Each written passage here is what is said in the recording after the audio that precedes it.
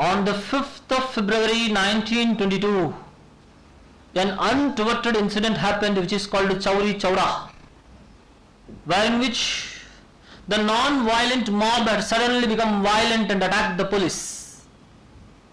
They had attacked the police and burnt the police station, killing close to 30 policemen who were present there. When this incident was informed to Gandhi, Gandhi withdrew this non-cooperation movement which had been going on for close to two years since 1920. Are we understanding? Because Gandhi said, I can be a leader only to a non-violent mob, non-violent mass. Violent mass, he says, I cannot be the leader. And he told in a different way. He said that uh, the Indians are not yet matured enough uh, to receive my way of, my way of struggle. Indians. You are not ready to receive Satyagraha அப்படிங்கிறாங்க Gandhi not ready to receive the technique of Satyagraha. You become violent. Because of which what happened? Gandhi withdrew this non-cooperation movement. Immediately on the 6th February, on the 12th February in a Bardoli resolution, it was passed a non-cooperation movement was withdrawn. Later Gandhi was removed from this scene by the arrest of Gandhi by the British. In 1922, Gandhi had been sent to imprisonment. Six, six years imprisonment had been given to Gandhi. Then after the withdrawal of Gandhi, after the suspension or withdrawal of the non-cooperation movement, now there is a political vacuum. There is an absence of activity in the political sphere. This is the problem. The period of activity can be harvested. The period of activity can be mobilized towards nationalism, but the period of passivity is very difficult to see or face. So the leaders were utterly confused. They do not know what to do in the period of passivity. Movement had been withdrawn. Some masses were ready to fight. So what they did, they remained confused. So one set of people under C.R. Das and Motilal Nehru, they said that uh, in this period of passivity, some activity should be done. Otherwise, what happen? Masses will totally become dejected and they will withdraw from national activity. Somehow, some activity should be done. Sir, what activity we are going to do, sir? They said, uh, according to the 1919 reforms, diarchy had been introduced. So, we will contest in the elections which are supposed to come and we are going to form a legislature and we are going to form government based on the provisions of the diarchy which was introduced in the provinces.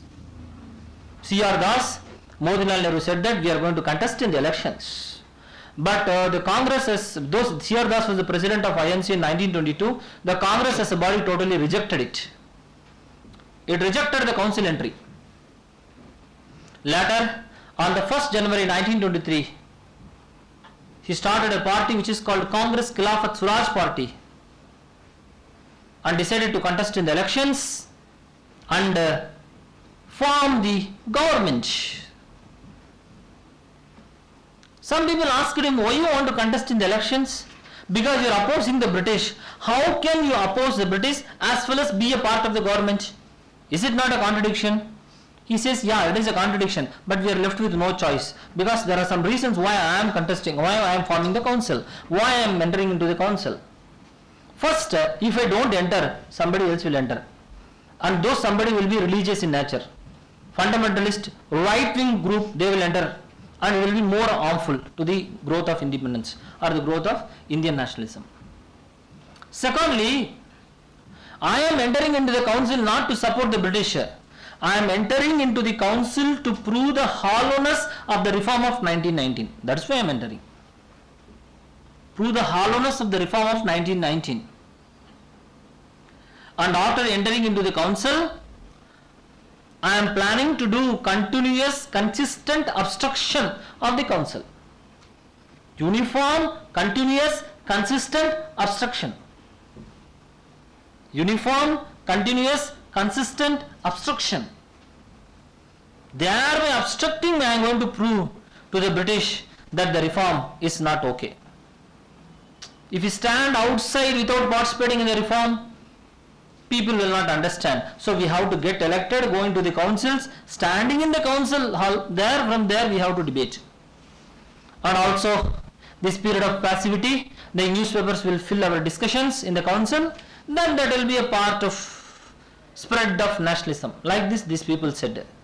Those people who said this, who wanted to contest in the elections, who wanted to accept the reform given by the government, uh, happens to be called as pro-changer. Pro-changer. But some other people rejected it. They rejected because the real work is not in the council but in the village. You have to do village reconstruction activity. Village reconstruction activity. This group was supported by Rajaji, Sardar Vallabhbhai Patel, Rajendra Prasad, etc. They said that we have to do village reconstruction activity and they were opposed to the council entry. And this group is called no changer. They do not want to change. So they wanted to take the movement to the villages during the period of passivity. period of passivity. You understand? This is called pro changer, no changer debate.